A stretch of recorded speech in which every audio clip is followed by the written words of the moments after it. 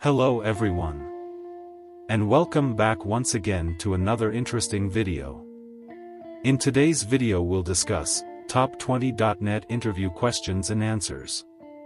Whether you're a beginner or an experienced programmer, this video is absolutely for you. So if you are ready, let's start today's video.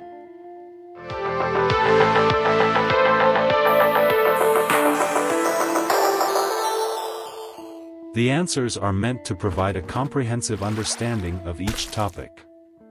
Keep in mind that the depth of your responses may vary based on your specific experience and the role you're applying for. Each question is accompanied by a detailed answer to help you prepare for your interview. Question 1. Explain the difference between managed code and unmanaged code in .NET. Answer. Managed code is code that is executed by the Common Language Runtime or CLR, while unmanaged code is code that is executed outside the CLR. Managed code is written in languages like C Sharp, VB.NET, etc., and it is automatically managed by the CLR for memory allocation and garbage collection. Unmanaged code, on the other hand, is written in languages like C and C++, and it is responsible for managing its own memory. Question 2. What is the Global Assembly Cache or GAC in .NET? Answer. The Global Assembly Cache or GAC is a repository in .NET where assemblies are stored globally, allowing them to be shared across multiple applications. Assemblies in the GAC must have a strong name, which includes a unique identity consisting of the assembly's name, version number, culture information, and a public key token. Question 3. Explain the concept of garbage collection in .NET. Answer. Garbage collection is the automatic process of reclaiming memory occupied by objects that are no longer in use. The Common Language Runtime or CLR in .NET includes a garbage collector that runs in the background, identifying and collecting unreferenced objects. This process helps manage memory efficiently and reduces the risk of memory leaks. Question 4. What is the role of the Common Language Runtime or CLR in .NET? Answer. The Common Language Runtime or CLR is a key component of the .NET framework responsible for managing the execution of .NET applications. It provides services such as memory management, exception handling, security, and thread management. The CLR also facilitates interoperability between different languages targeting the .NET framework. Question 5. What are the different types of authentication used in .NET? Answer. .NET supports various authentication mechanisms, including Windows Authentication, Forms Authentication, Passport Authentication, and Certificate Authentication. Windows Authentication uses the Windows Security Infrastructure, Forms Authentication allows custom login forms, Passport Authentication leverages Microsoft's Passport service, and Certificate Authentication uses digital certificates for authentication. Question 6. Explain the concept of ASP.NET View State. Answer. View state is a mechanism in ASP.NET to persist the state of a server control across postbacks. It stores the control state as a hidden field on the page, and this information is sent to the client browser. View state helps in maintaining the state of controls between requests and responses, allowing for a more stateful behavior in web applications. Question 7. What is the difference between the equals equals operator and the equals method in C Sharp? Answer. The equals equals operator is used for comparing the values of two objects, while the equals method is used for comparing the content or values of objects. In simple types, such as integers, equals equals and equals behave similarly, but for reference types, they might behave differently depending on how the equals method is overridden. Question 8. Explain the concept of delegates in C-sharp. Answer. Delegates in C-sharp are reference types that hold references to methods, allowing method calls to be assigned as parameters, passed to other methods, or stored for later execution. Delegates provide a way to achieve callback functionality and are commonly used in event handling in GUI applications. Question 9. What is the purpose of the using statement in C Sharp? Answer. The using statement in C Sharp is used for automatic resource management, particularly for objects that implement the IDisposable interface. It ensures that the dispose method of the object is called when the block of code is exited, freeing up resources and improving memory management. Question 10. Explain the concept of dependency injection or DI in .NET. Answer. Dependency injection is a design pattern in .NET that involves injecting dependencies into a class rather than creating them within the class. This promotes loose coupling, making the application more maintainable and testable. In .NET, DI is often implemented using frameworks like Microsoft, extensions. Dependency injection. Question 11. What is the difference between string builder and string in C Sharp? Answer. String builder is a mutable sequence of characters, while string is immutable. This means that string builder allows for efficient manipulation of strings, such as concatenation, without creating a new object each time. In contrast, operations on string create new string instances. Question 12. Explain the concept of polymorphism in object-oriented programming. Answer.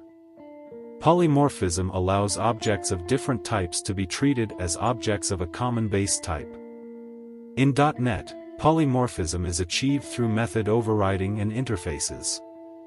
It enhances code reusability and flexibility by allowing different objects to be used interchangeably if they share a common interface or base class. Question 13. What is the purpose of the async and await keywords in C Sharp? Answer. The async and await keywords are used in C Sharp for asynchronous programming. Async is used to define an asynchronous method, and await is used to asynchronously wait for the completion of a task without blocking the execution of the program. This is especially useful in scenarios where non-blocking operations are needed, such as in GUI applications or web services. Question 14.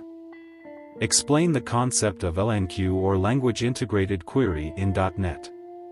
Answer. LINQ is a set of extensions to the .NET framework that adds query capabilities to C Sharp and Visual Basic. It allows developers to write queries against collections, databases, XML, and other data sources using a syntax similar to SQL. LINQ provides a unified way to query different types of data using a common set of operators. Question 15. What is the purpose of the finally block in a try-catch finally statement? Answer. The finally block in a try-catch finally statement is used to specify a block of code that will always be executed, regardless of whether an exception is thrown or not. It is commonly used for releasing resources, cleanup operations, or any code that must run regardless of the outcome of the try-catch block. Question 16. Explain the concept of indexers in C-sharp. Answer. Indexers in C-sharp allow instances of a class or struct to be indexed just like arrays. They are defined using the this keyword and can have one or more parameters, allowing objects to be accessed using an index. Indexers provide a convenient way to access elements of a collection or container-like object. Question 17. What are the different types of authentication in ASP.NET? Answer.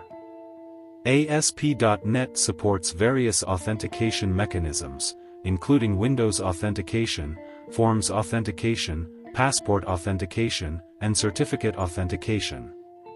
Windows Authentication uses the Windows Security Infrastructure, Forms Authentication allows custom login forms, Passport Authentication leverages Microsoft's Passport service, and Certificate Authentication uses digital certificates for authentication. Question 18. Explain the concept of attributes in .NET. Answer. Attributes in .NET provide metadata about elements of a program, such as classes, methods, or properties. They are used to convey information to the runtime or other tools. Attributes are enclosed in square brackets, and can be applied to various program entities.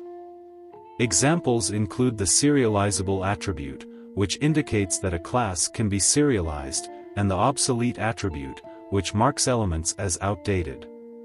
Question 19. What is the purpose of the app config or web.config file in .NET? Answer. The app config, for desktop applications, or web.config, for web applications, file in .NET is used to store configuration settings for an application. It allows developers to define settings such as database connection strings, custom application settings, and other configuration parameters. These settings can be easily modified without recompiling the application. Question 20. Explain the concept of inversion of control or IOC and how it is implemented in .NET. Answer. Inversion of control or IOC is a design principle in which the control flow of a program is inverted, and the framework or container is responsible for managing the flow of control. In .NET, IOC is often implemented using dependency injection containers like Microsoft extensions. Injection. These containers manage the creation and lifetime of objects, promoting loose coupling and making applications more modular and testable.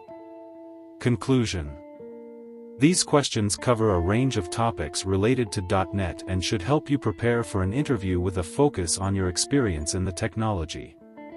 Keep in mind that interview questions can vary, so it's essential to have a strong understanding of the fundamentals and be ready to discuss your practical experiences and problem-solving skills. Good luck with your interview. That's all for this video. If you found this video helpful, don't forget to subscribe, give it a thumbs up, and hit that notification bell for more content. So you don't miss any upcoming video. And, if you have any questions or topics, you'd like us to cover in future videos. Please let us know in the comments below. Until next time, keep exploring and keep coding. Thanks for watching, and happy coding.